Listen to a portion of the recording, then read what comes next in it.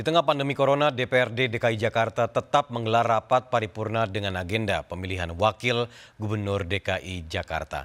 Meski pemilihan wagub digelar di tengah pandemi, panitia pemilihan mengaku tetap mengedepankan konsep pembatasan jaga jarak sosial sesuai anjuran pemerintah.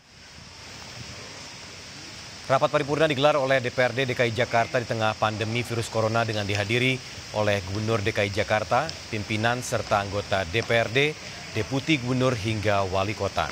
Anggota DPRD diminta untuk memilih antara Ahmad Riza Patriada, Patriadari dari maksud kami Patria dari Partai Gerindra atau Nurmansyah Lubis dari PKS untuk mendampingi Anies Baswedan memimpin ibu kota Jakarta. Terdapat 106 anggota dewan yang berhak memilih, namun tidak semua anggota dewan masuk dalam ruang paripurna gedung DPRD DKI Jakarta. Yang masuk ke dalam ruangan hanya untuk persyaratan quorum, yaitu 50 persen plus satu anggota.